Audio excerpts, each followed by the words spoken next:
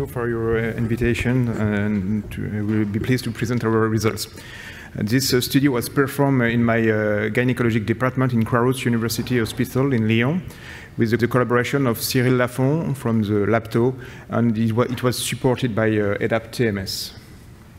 So to change this one. Yeah. Okay. Uh, everybody knows uh, this benign pathology called uh, uh, endometriosis. Is, uh, digestive endometriosis is probably one of the most frequent uh, form of, the, of deep infiltrating endometriosis and the most symptomatic form.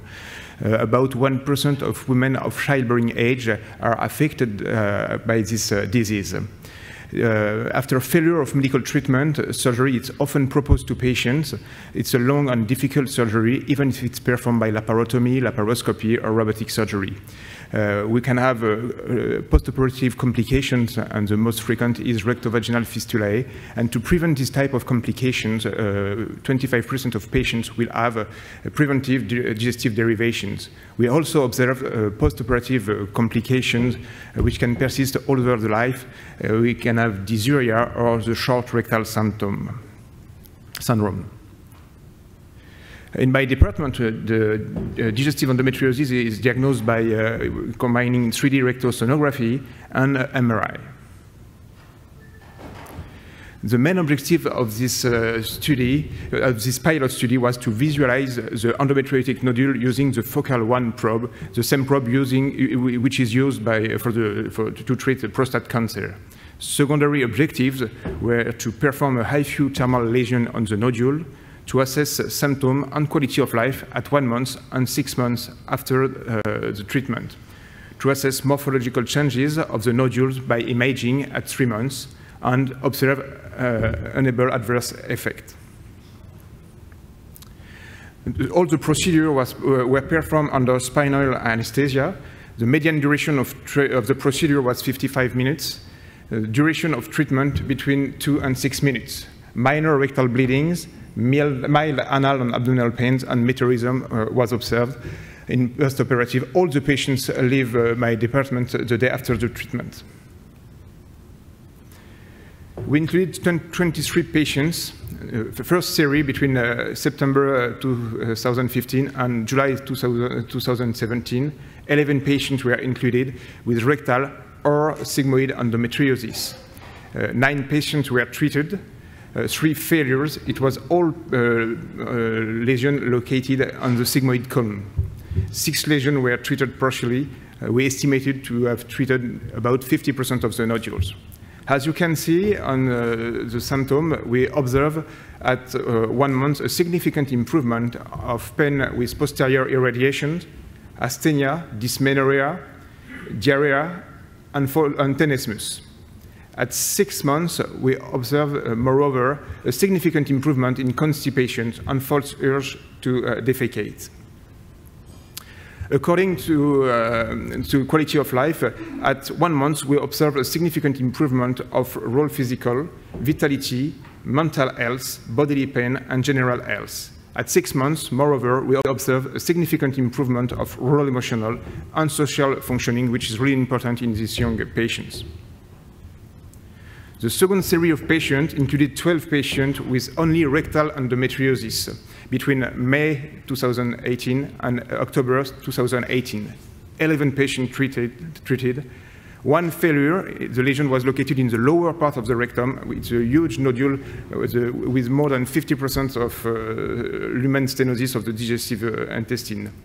One lesion uh, was uh, treated partially, but the estimation was we have tr probably treated 90% of the all nodules. Um, according to the symptom, we observe at one month, and it's only on six patients, a significant improvement of pain with posterior ir irradiation, asthenia, dysmenorrhea, false urge to defecate, and uh, dyschezia.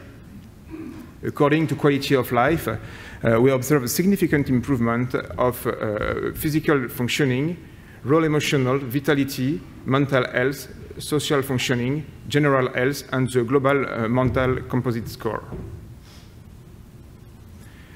No significant morphological changes was observed at three months, but a trend at six months in three uh, patients. Here is uh, an, uh, an uh, one volume of the lesion uh, before treatment and after six and seven months. As you can see, the volume is, seems to be significantly uh, reduced after the, this treatment, but at six months. In conclusion, uh, we have demonstrated the feasibility of targeting uh, in 100% of the cases, of treatment in 87% of the cases. If we want to use the, this probe to treat uh, rectal endometriosis, we need a better selection of patients, mi mild or high rectum, to design a specific probe to treat all the lesions of the rectum or maybe the sigmoid uh, location. We observe also a significant improvement in digestive, gynecological symptoms, and also quality of life. We didn't observe a decrease of the volume of the lesion at three months. Maybe it was too early to observe these uh, reductions, or it can be explained also by the incomplete treatment. Uh, we can uh, have a better selection of the patient. To, we, had, we had a better selection of the patient with the second series, in the second series of patients, and we can also discuss dose escalation in the future study. What is interesting also is to observe that we didn't uh, uh note uh, enable adverse effect. Uh, it was less frequent than surgery, and we didn't have any rectovaginal fistulae. Like we have seen yesterday, HIFU seems to be able to open the BBB, but HIFU doesn't seem to be able to open the RVS, the rectovaginal septum, which is really important. Thank you for your attention. Thank you. Thank you. I, I think this and, is a. I'm sorry. And of course, thank you for all my team uh, and the uh, EDAP TMS, which is uh, always present for the treatment. Okay. Any questions? Mm -hmm. The, the, probe you use for the transrectal for the prostate is the same probe, or did you have to modify to no. extend the length? Uh, for the moment, it's the same probe, exactly the same probe. That's why we, it's sometimes difficult, and we cannot go uh, higher as we want uh, to treat a, a sigmoid a lesion located in the sigmoid colon. Thank you. By any chance, in these patients, sometimes endometriosis patients also have fibroids, and sometimes posterior fibroids are hard to treat, no matter, even if you fill the rectum, like a right posterior fibroid can't really be pushed forward by filling the rectum, which is predominantly left-sided. So did you ever see a posterior fibroid, and do you think you could possibly treat a posterior fibroid with it could this? Be, it could be a problem, but most of these patients uh, have adenomyosis and not and uh, fi fibroid. Fibroids. Usually, and they are really young, Thinking. and it's not so big usually. Okay, thank you, thank you.